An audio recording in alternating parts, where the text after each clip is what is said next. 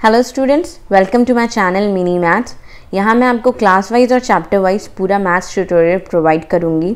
अगर आपको ये वीडियो यूज़फुल लगे तो आप मेरे वीडियो को लाइक शेयर एंड कमेंट करें। मेरे चैनल को सब्सक्राइब करें और बेल आइकन को क्लिक करना ना भूलें, ताकि आपको मेरे new videos time to time पे मिलते रहें। Welcome back to my channel Mini Maths. Exercise 3.6 question number 2 first part. What question number 2 says is, formulate the following problem as a pair of equation and hence find their solution. हमें equation भी बनाना पड़ेगा इससे और solution भी find out करना पड़ेगा, right? आप अगर मेरा इंट्रोडक्शन वीडियो नहीं देखे हैं 3.6 का इंट्रोडक्शन तो आप उसे देखिए क्योंकि मैंने उसमें काफ़ी अच्छे से बताया कि हम इसे एक्सरसाइज को कैसे सॉल्व करेंगे, कैसे वर्ड्स प्रॉब्लम्स को भी देखेंगे। डाउन स्ट्रीम्स अप स्ट्रीम्स के बारे में भी मैंने उसमें प्रॉपरली बताया है। अगर आपने नहीं देखा है तो मैं यहाँ पे फिर से एक बार बता रही हूँ। डाउन स्ट्रीम होता है डाउन स्ट्रीम डाउन स्ट्रीम वो होता है जो वाटर की स्पीड पानी की जो लहर की स्पीड होती है अगर इधर वाटर इस डायरेक्शन में मूव हो रहा है ओके okay, वाटर का डायरेक्शन इस तरफ़ है मूविंग का और आपके बोर्ड का डायरेक्शन भी इस तरफ़ है मूव होने का। तो वो क्या होता है? आपस में उनका जो स्पीड होता है speed of water and speed of boat आपस में क्या हो जाता है? फास्ट हो जाता है मतलब दोनों एक तो वाटर की स्पीड की वजह से तो बोट जाएगा ही इस डायरेक्शन में, लेकिन वो खुद की स्पीड की वजह से भी जाएगा। मतलब क्या हो जाता है, वो दोनों स्पीड्स क्या हो जाती हैं आपस में ऐड हो जाती है in downstream okay but in upstream अगर वाटर का डायरेक्शन इस डायरेक्शन में है, ये अपस्ट्रीम के लिए okay this is for upstream upstream में क्या होता है, जब वाटर का डायरेक्शन इस डायरेक्शन इस तरफ़ है, और हमारे बोर्ड का डायरेक्शन इधर है, हम जहाँ अलग डायरेक्शन में रहे तो आपने कभी नोटिस किया होगा, आप जब साइकिल चला रहे होते हैं तो जब हवे के डायरेक्शन की वजह से हमारी स्पीड क्या हो जाती है? धीमी हो जाती है है ना? वैसे ही बोट की जो स्पीड होगी, वो वाटर के स्पीड की वजह से थोड़ी सी कम हो जाएगी। सपोज़ अगर वाटर का स्पीड एक्स है और बोट का स्पीड वाई है सपोज़ किया हमने, ये क्वेश्चन पे नहीं आया, अभी हम सिर्फ़ अपस्ट्रीम एंड डाउनस्ट्रीम के बारे में बता रही हूँ मैं ओके तो अगर ये वाटर का स्पीड एक्स है और बोट का स्पीड वाई है तो हमारे पास क्या होगा? इन दोनों का जो डिफरेंस होगा, वो ही एक्चुअल स्पीड होगा जिस स्पीड से बोट आगे बढ़ रही होगी, है ना? क्योंकि वाटर की स्पीड क्या कर रही है? उसे रोक रही है कहीं ना कहीं।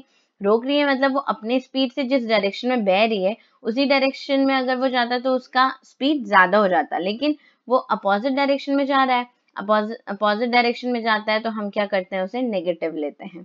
क्लियर है? ये जो हमने कार वाला एक एग्ज़ाम्पल देखा था एक्सरसाइज 3.5 में किसी एक क्वेश्चन में देखा था कार वाला एग्ज़ाम्पल उसमें क्या होता था, जब अगर टूवर्ड्स ईच अदर आते थे बोट्स बोट्स ले लो या गाड़ियाँ ले लो कार बस ट्रेन एनीथिंग अगर वो एक दूसरे की तरफ़ आते थे तो हम उनकी स्पीड को क्या करते थे? ऐड करते थे। अगर वो सेम डायरेक्शन में जा रहे होते थे तो क्या करते थे? हम उसे सब्सट्रैक्ट कर रहे होते थे, है ना? सब्सट्रैक्ट करते थे। यहाँ पे थोड़ा ऑपोजिट है। यहाँ पे क्या है? वाटर के डायरेक्शन में अगर है तो फिर हम ऐड करेंगे क्योंकि वाटर का डायरेक्शन भी वाटर की स्पीड भी उसमें क्या हो जाएगी? ऐड हो जाएगी है ना? और अगर वाटर के ऑपोजिट डायरेक्शन में वाटर जिस डायरेक्शन में बह रही है उसके ऑपोजिट डायरेक्शन में तो हम उसके स्पीड्स को क्या करेंगे? सब्सट्रैक्ट करेंगे। आई होप ये डाउन स्ट्रीम अपस्ट्रीम क्लियर है। तो हम अब क्वेश्चन में आते हैं। अगर आपको और अच्छे से समझना है अपस्ट्रीम एंड डाउन स्ट्रीम तो आप इंट्रोडक्शन वीडियो ज़रूर देखें 3.6 का। ओके okay, मैं डिस्क्रिप्शन में लिंक दे दूँगी आपको वो इजीली मिल जाएगा। ओके तो फिर देखते हैं फ़र्स्ट पार्ट क्या बोल रहे तू can row downstream twenty kilometre in two hours and upstream four kilometre in two hours find her speed of rowing in still water and the speed of current find क्या करना है हमें still water में और उसका speed find out करना है और करेंट की स्पीड करेंट यहाँ पे कैसे बोल रहा है? वाटर की स्पीड को बोल रहा है ओके वाटर की स्पीड को ही फाइंड आउट करना है और हमें किसकी स्पीड को फाइंड आउट करना है? स्टिल वाटर में उस के उस बोट की स्पीड को फाइंड आउट करना है। Okay okay? तो जो जो फाइंड आउट करना होता है, उसे हम कंसिडर कर लेते हैं। So let speed of rowing in still water be x kilometre per hour okay x kilometre per hour and speed of current और speed of water we can say speed of water लिखती हूँ मैं यहाँ पे। Speed of water क्या है? Y kilometre per our ये हमने कंसिडर कर लिया। ओके अब मैंने क्या बताया? डाउन स्ट्रीम डाउन स्ट्रीम क्या होता है? वाटर का स्पीड कितना है वाटर का स्पीड इज़ y प्लस जो बोट की स्पीड होगी, x. क्लियर है? इतना है, ये क्या होगा? स्पीड होगा किसका? जो डाउन स्ट्रीम में जो बोट जिस डायरेक्शन में जा रहा होगा, लहर की स्पीड इस तरफ़ और फिर बोट की स्पीड भी इस तरफ़। डाउन स्ट्रीम वही होता है जब जहाँ दोनों की स्पीड सेम डायरेक्शन में जाती हुई जाती है और वहाँ पे हम क्या करते हैं, उनकी स्पीड को ऐड करते हैं, है ना? तो अगर हमें बोल रहा है डाउन स्ट्रीम बोल रहा है हमें, अगर हमें बोला है ऐसा डाउन स्ट्रीम लिखा हुआ है तो हमें पता चल गया कि डाउन स्ट्रीम में स्पीड कितना रहेगा हमारा?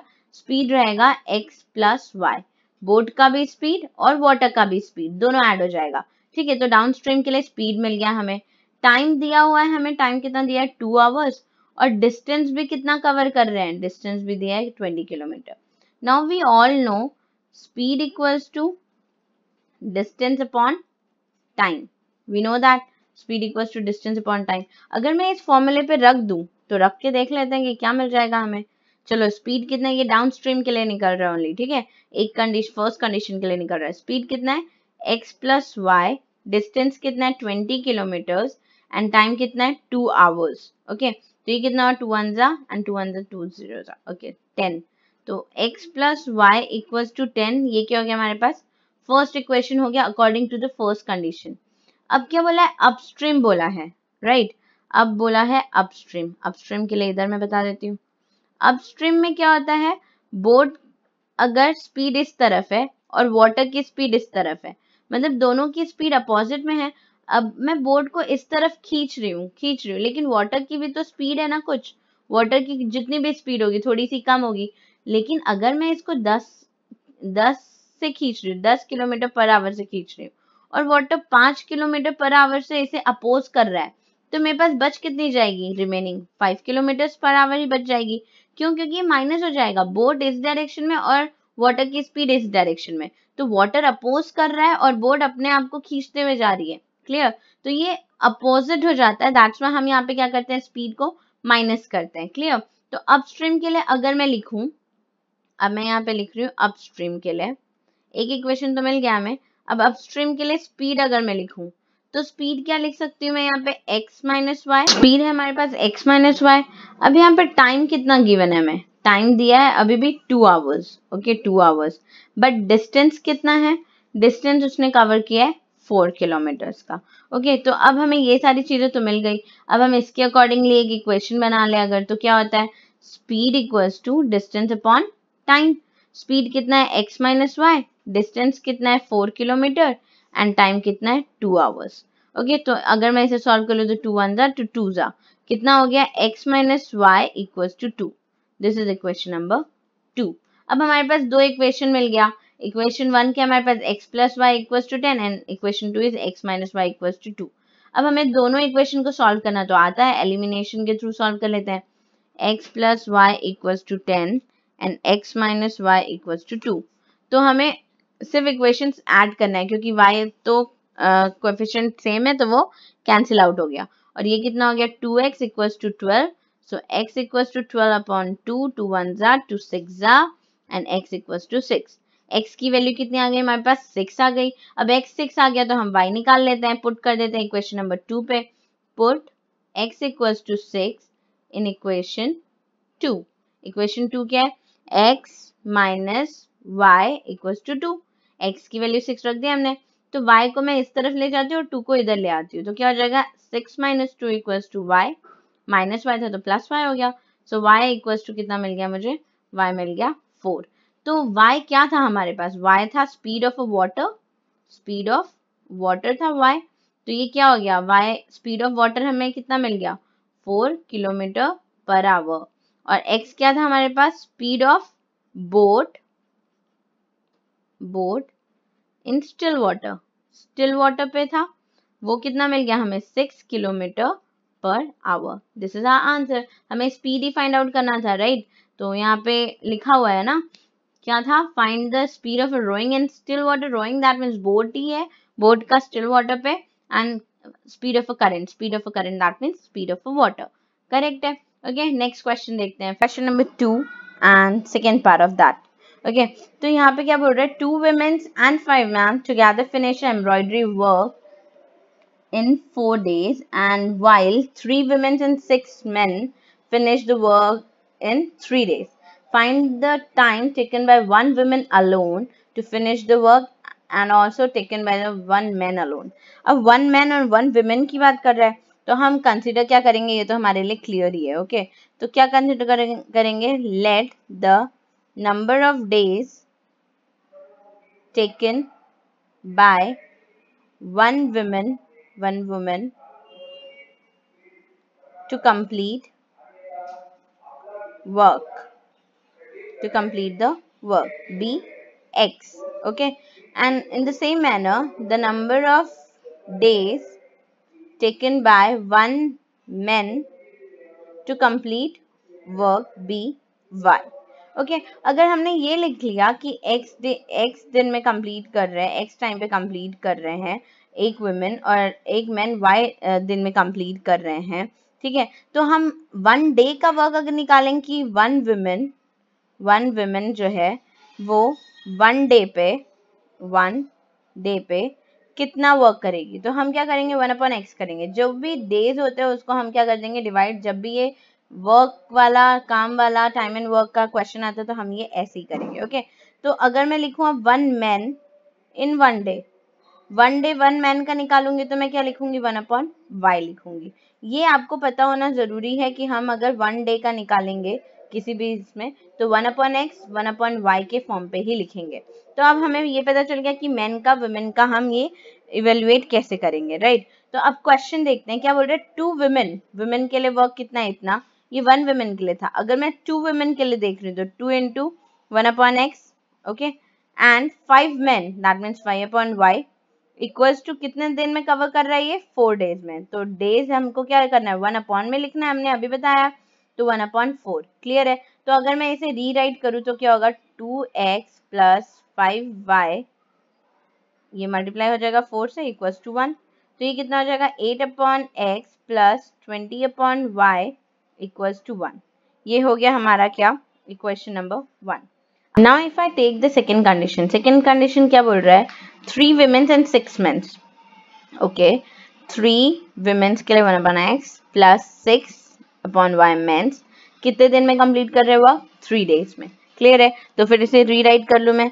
Three upon x plus six upon y multiply by कितना हो जाएगा? Three equals to one okay तो फिर ये कितना आ जाएगा? Three three nine x plus eighteen upon y equals to one ये हमारा क्या हो गया? इक्वेशन नंबर टू हो गया। अब दो इक्वेशन मिल गए हमें को। दो इक्वेशन मिल गए। ये अपॉन अपॉन में तो ये दिख रहा है कि हमें इसे क्या करना पड़ेगा? रिड्यूस करके सॉल्व करना पड़ेगा। तो कर लेते हैं let one upon x equals to a okay and one upon y equals to d ले लिया। तो फ़र्स्ट इक्वेशन के according according to equation one हमें क्या मिल जाएगा? Eight a plus twenty b equals to one according to equation two equation two के accordingly हमें क्या मिल जाएगा? Nine a plus eighteen b equals to one clear है? ये मिल गया। अब हमें अगर इसे इक्वल करना है तो हम क्या करें? हमें तो अब एलिमिनेशन मैथड सॉल्व करना पड़ेगा, है ना? तो this is equation number three and this is equation number four अब इक्वेशन नंबर थ्री और फोर में हम क्या करेंगे? एलिमिनेशन मैथड सॉल्व करेंगे। तो सॉल्व करने के लिए पहले हमें क्या करना पड़ेगा? इक्वेशन नंबर थ्री और फोर में से एलिमिनेट करने के लिए हमें किसी ना किसी वेरिएबल के कोएफिशिएंट को सेम बनाना पड़ेगा। और सेम बनाने के लिए हम क्या करें? Multiply equation three by nine and equation four by eight तो कितना हो जाएगा? अगर मैं इसे मल्टीप्लाई कर दिए नाइन से और इसे मल्टीप्लाई कर दी एट से तो इक्वेशन थ्री हमें क्या मिल जाएगा? थ्री हमें क्या मिल गया? एट नाइन ज़ा seventy two a plus one eighty b clear है? इक्वल्स टू नाइन और सेकेंड फोर्थ इक्वेशन से हमें क्या मिल जाएगा? फोर्थ इक्वेशन से हमें क्या मिल जाएगा? Seventy two a plus eighteen into eight eight eight sixty four four six carry over eight और सिक्स कितना हो गया? Fourteen one forty four b equals to eight okay अब अगर मैं इसे सब्सट्रैक्ट कर दूँ सब्सट्रैक्ट कर दिया तो minus sign minus sign change हो जाएँगे सारे। ये कैंसिल हो गया। ये कितना हो जाएगा? Ten minus four is six eight का ये सेवन हो गया seven minus four is three thirty six b और ये कितना हो गया? हमारे पास वन हो गया। तो बी हमें कितना मिल गया? वन अपॉन 36 मिल गया। करेक्ट है बी हमें 36 मिल गया, वन अपन थर्टी सिक्स। हमें क्या निकालना पड़ेगा? अब हमें वैल्यू निकालनी पड़ेगी ए की। तो ए की वैल्यू निकालने के लिए हम इक्वेशन थ्री या फोर में पुट करेंगे राइट right? तो हम एक काम करते हैं इक्वेशन नंबर फोर में पुट करते हैं। Put b equals to one upon one upon thirty six in equation four अगर इक्वेशन नंबर फोर में पुट कर रही हूँ मैं तो कितना आएगा? Nine a plus eighteen into one upon thirty six equals to one okay? तो 18 के टेबल में 36 आता है या नहीं? 18 के टेबल में आता है टू जा, है ना? तो ये तो कैंसिल आउट हो ही जाएगा यहाँ से। 18 वन एंड एटीन टू जा। तो ये कितना हो गया? 9a a equals to one minus one by two कितना हो जाएगा? One by two equals to nine a तो a कितना हो जाएगा? वन अपॉन एटीन हो जाएगा। a की वैल्यू कितनी आ गई? वन अपॉन एटीन आ गई। बी की वैल्यू कितनी आ गई? वन अपॉन थर्टी सिक्स आ गई। अब हमें क्या पता है? हमें ये पता है कि वन अपॉन एक्स हमें, हमने किसे कंसिडर किया था? ए को, और ए की वैल्यू कितनी है हमारे पास? वन अपॉन एटीन तो एक्स की वैल्यू हमें यहाँ से कितनी मिल गई? एक्स की वैल्यू मिल गई हमें एटीन ओके और वैसे ही वन अपॉन वाई हमें किसने, किससे कंसिडर किया था? बी को. और बी का वैल्यू कितना है? वन अपॉन थर्टी सिक्स तो वाई की वैल्यू हमें यहाँ से कितनी मिल जाएगी? वाई की वैल्यू हमें मिल गई थर्टी सिक्स एक्स और वाई की वैल्यू हमें जब यहाँ से मिल गई है तो हमें क्वेश्चन में पूछा गया था। एक्स और वाई का ही वैल्यू निकालने के लिए बोला था, हमें पूछा था वन विमेन अलोन काम को कितने दिन में खत्म करेगी, है ना? तो एक्स की वैल्यू हमारे पास कितनी आई? 18 तो 18 डेज़ में एक विमेन पूरे काम को फिनिश करेगी और 36 डेज़ में एक मैन पूरे काम को फिनिश करेगा। क्लियर है? 36 बी की वैल्यू वाई की वैल्यू एक्स की okay this is correct okay this is the answer of the second part guys ये सारे जितने भी क्वेश्चन हैं ना, अभी इसमें सेकेंड पार्ट में वो सारे इंपॉर्टेंट है। बोट वाला भी बहुत इंपॉर्टेंट था, इससे पहले जो था वो भी बहुत इंपॉर्टेंट था, और अभी ये टाइम एंड डिस्टेंस वाला भी बहुत इंपॉर्टेंट है। कौन कौन सा हो गया? पहला बोट वाला था, फिर क्या था? वर्क वाला है, और ये टाइम एंड डिस्टेंस वाला है ना? ये तीनों क्वेश्चन बहुत इंपॉर्टेंट है, ये सब चीज़ें चार चार पाँच पाँच मार्क के लिए एग्ज़ाम में पूछी जाती है। इसलिए आप ये क्वेश्चन एकदम अच्छे से करिएगा ओके तो चलिए देखते हैं ये थर्ड पार्ट क्या बोल रहा है। Ruhi travels 300 kilometre to her home partially by train and partially by bus Ruhi का घर, ठीक है, वो ट्रैवल कर रही है अपने घर जाने के लिए, कितना किलोमीटर 300 किलोमीटर मतलब टोटल एक जगह से दूसरे जगह तक का डिस्टेंस कितना है? 300 किलोमीटर है। लेकिन वो कुछ डिस्टेंस किससे चल रही है? ट्रेन से चल रही है और कुछ किससे चल रही है? वो बस से चल रही है। हमें पता नहीं कि कितना क्या चल रही है राइट फिर क्या बोल रहा है? 60 kilometre by train and remaining by bus if she travel 100 kilometre by train and remaining by bus she take 10 minutes longer find the speed of a train and a bus अब हमें क्या करना है? स्पीड ऑफ़ अ ट्रेन और speed of a bus निकालना है। तो हम क्या करेंगे? अब भी कंसिडर करते हैं, ठीक है? Speed of train let speed of train b x kilometre per hour okay and speed of bus is y kilometre per hour हमने ये कंसिडर कर लिया ओके okay? अब क्या बोला है कि 300 किलोमीटर है? उसमें से 60 किलोमीटर उसने ट्रेन से चली है ओके okay? तो 60 किलोमीटर पहले तो हमें अब एक और चीज़ पता होना चाहिए। एक और चीज़ क्या? Speed equals to distance upon time होता है। और यहाँ पे टाइम कितना दिया हमें? फोर आवर्स दिए हुए हैं ओके फोर आवर्स लेकिन कितना? ट्रेन से भी और बस से भी, पूरा अपने घर तक पहुँचने का फोर आवर्स है। तो हम एक काम करते हैं time equals to distance upon speed लिख लेते हैं। ओके तो यहाँ से हमें पता चल जाएगा कि दोनों तरफ़ का अगर हम ट्रेन वाला भी प्लस करें प्लस बस वाला जगह प्लस करें तो हमें टाइम कितना मिल जाएगा? फोर आवर्स मिल जाएँगे। क्लियर है? तो इसलिए हम ये टाइम को एक तरफ़ लिख लें और इससे हम किसके फॉर्म में लिखेंगे? डिस्टेंस अपॉन स्पीड के फॉर्म में। बस वाले को भी किसमें लिखेंगे? डिस्टेंस अपॉन स्पीड के फॉर्म पे लिखेंगे। ओके तो चलो अब हम इसी को लिखना शुरू करते हैं कि कैसे हम लिखने वाले हैं। ओके तो ये मैं हटा देती हूँ। ओके तो अब हम लिखते हैं। क्या ले रहे हैं हम? हम्म स्पीड हो गया। अब हम टाइम के अकॉर्डिंगली लिख रहे हैं। तो टाइम के अकॉर्डिंगली डिस्टेंस पहले जो ट्रेन से चली ट्रेन से कितना डिस्टेंस चली उसने? 60 किलोमीटर और स्पीड क्या थी उसकी? X ठीक है तो टाइम हो गया ये। ये हो गया 60 किलोमीटर अब जब वो 60 किलोमीटर ट्रेन से चली है तो बाकी का बचा हुआ किससे चली है? बस से चली है। तो इसको मैं क्या लिख सकती हूँ? Three hundred minus sixty which nothing but become how much 240 kilometre तो वो बस से कितना चली है बस से चली है 240 किलोमीटर और कितने स्पीड से? Y किलोमीटर पर आवर की स्पीड से. और कितने टाइम पे पहुँच रही है वो? फोर आवर्स में पहुँच जा रही है ओके तो अगर मैं इसको प्रॉपरली लिख लूँ इक्वेशन तो sixty upon x plus two forty upon y equals to four this is our first equation according to the first condition clear अब सेकेंड कंडीशन क्या बोल रहा है? If she travels hundred kilometre अगर उसने हंड्रेड किलोमीटर ट्रेन से चली होती ट्रेन से चली होती तो रिमेनिंग कितना है? Three hundred minus hundred that becomes two hundred kilometre तो टू हंड्रेड किससे चली होती? वो बस से चली होती क्लियर तो हम वो भी लिख लेते हैं अब। Hundred kilometre by the speed of a train that means x and 200 kilometre by the speed of a bus that is y और कितना बोल रहा है? टेन मिनट्स लॉन्गर किसका लॉन्गर जैसे वो पहले पहुँची थी चार फोर आवर्स में, उसमें वो टेन मिनट्स और लगा है और दस मिनट उसे लेट हो रहा है ओके तो हम ये फोर आवर्स टेन मिनट को क्या लिख सकते हैं? फोर आवर्स तो आवर्स में है, लेकिन ये मिनट में तो टेन मिनट को हम कन्वर्ट करेंगे किसमें? आवर्स में कन्वर्ट करेंगे। तो डिवाइड कर लेते हैं तो ये कितना हो जाएगा? One upon six one upon six hours four hours plus one upon six hour तो इसको मैं फोर वन बाय सिक्स लिख सकती हूँ। और वैसे ही ये मिक्स फ्रैक्शन है तो अब मैं इसको क्या कर लूँ? नॉर्मल फ्रैक्शन में कन्वर्ट कर लूँ, है ना? तो क्या करते हैं? फोर सिक्स जा twenty four plus one twenty five upon six clear है? तो ये कितना हो गया? ट्वेंटी फाइव अपॉन सिक्स तो हमारे पास इक्वेशन क्या बन गया? हमारे पास इक्वेशन बन गया है हंड्रेड ब्लैक ले लू क्या? Okay okay. 100 upon x plus 200 upon y equals to 25 upon 6 ये बन गया हमारा सेकेंड इक्वेशन अब हमारे पास इक्वेशन वन इक्वेशन टू आ गया है। हमें दिख रहा है कि ये रिड्यूसिबल फॉर्म में है तो हम कंसिडर कर लेते हैं। Let one upon x equals to a and one upon y equals to b तो इक्वेशन वन क्या हो जाएगा? इक्वेशन वन से हमें क्या मिल जाएगा? Sixty a plus two forty b equals to four मिल जाएगा।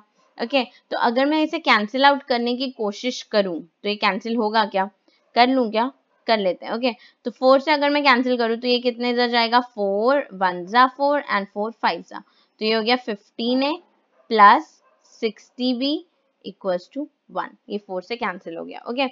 अब मैं इस इक्वेशन को अगर रीराइट करूँ तो ये वाला इक्वेशन क्या हो जाएगा? Second equation hundred a plus two hundred b equals to twenty five upon six तो 25 से ये कैंसिल हो रहा है क्या एक बार चेक कर लेते हैं 25 से कैंसिल होगा। ये कितना हो जाएगा?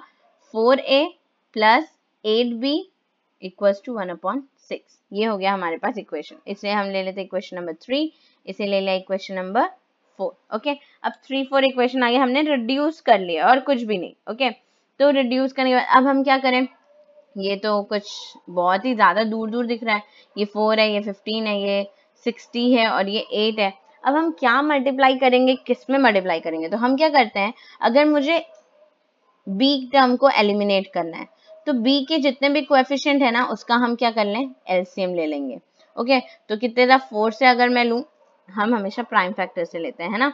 तो टू फोर ज़ा एट टू थ्री ज़ा six and zero two two ज़ा एंड टू फिफ्टीन ज़ा ओके देन टू वन ज़ा थ्री फाइव ज़ा एंड अगेन फाइव वन ज़ा ओके तो ये क्लियर हो गया? हमें प्राइम फैक्टराइजेशन कितना मिल गया?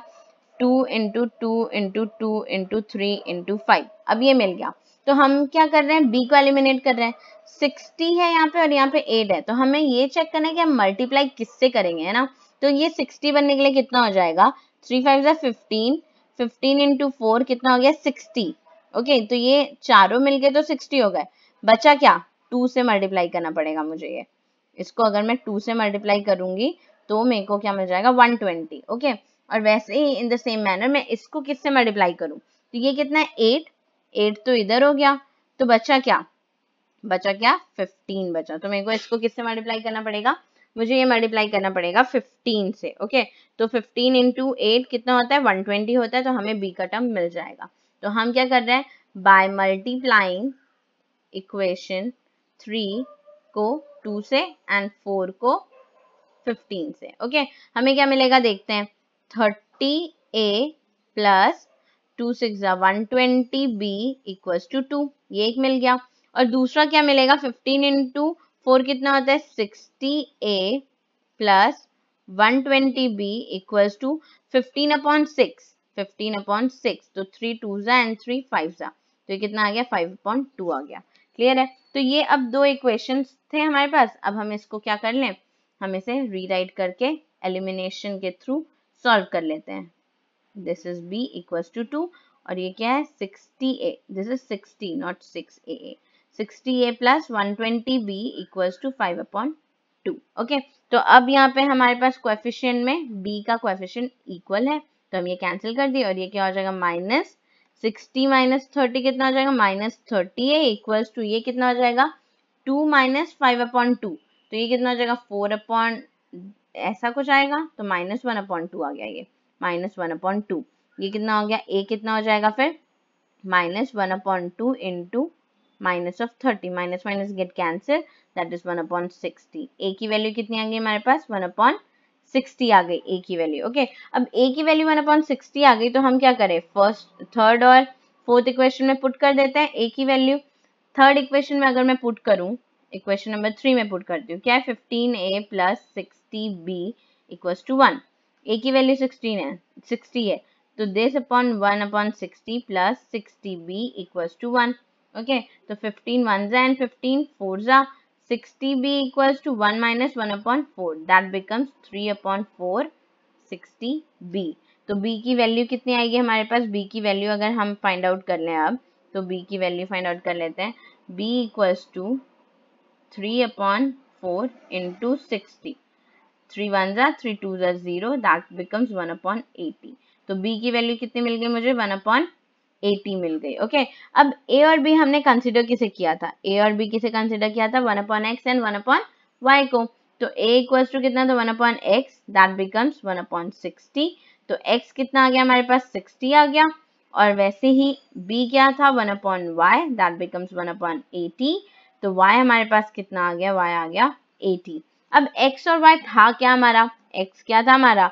Speed of a train x क्या था? Speed of a train that is 60 kilometre per hour and speed of a bus is 80 kilometre per hour okay clear है इतना? ये हमारा आंसर आ गया 60 and 80 this is the answer this is the speed of a train and this is the speed of a bus okay? Guys आज हमारा यहाँ पे फिर एक्सरसाइज 3.6 खत्म हुआ है और चैप्टर थ्री भी। चैप्टर थ्री के सारे एक्सरसाइज के सारे क्वेश्चंस हमने किए हैं। आपको डिस्क्रिप्शंस में सारे लिंक मिल जाएँगे। आप अगर नहीं मिलता तो आप मेरे प्लेलिस्ट पे जाइए। मेरे चैनल को अभी तक आपने अगर सब्सक्राइब नहीं किया तो सब्सक्राइब करिए। मेरे न्यू वीडियोज़ मिलते रहेंगे आपको। और गाइज़ अगर आपको एक्सरसाइज थ्री जो कि ऑप्शनल है इस चैप्टर का अगर वो चाहिए तो आप प्लीज़ मुझे कमेंट करिए, मैं आपको उसके भी सोल्यूशन बना के दूँगी। उसे भी कैसे सॉल्व करना है, क्या तरीका यूज़ करना है, वो भी मैं आपको बताऊँगी। ओके और गाइस प्रैक्टिस करिए एग्जाम्पल्स को करते रहिए। यहाँ पे चैप्टर थ्री मैं ख़त्म करती हूँ लाइक फिनिश होता है यहाँ पे। अब नेक्स्ट मिलेंगे हम चैप्टर फोर क्वाड्रेटिक इक्वेशन में। Okay bye bye student same type के क्वेश्चंस एग्ज़ाम्पल में भी हैं। आप ट्राई ज़रूर करिए। जितनी ज़्यादा प्रैक्टिस करेंगे, उतना ही आप सबके लिए अच्छा होगा। गाइज़ अगर आपको फुल एक्सरसाइज के सॉल्यूशंस चाहिए तो मैं डिस्क्रिप्शन में उसका लिंक शेयर कर दूँगी। एक्सरसाइज के सारे सोल्यूशन एक्सरसाइज वाइज आपको डिस्क्रिप्शन में मिल जाएँगे। Thank you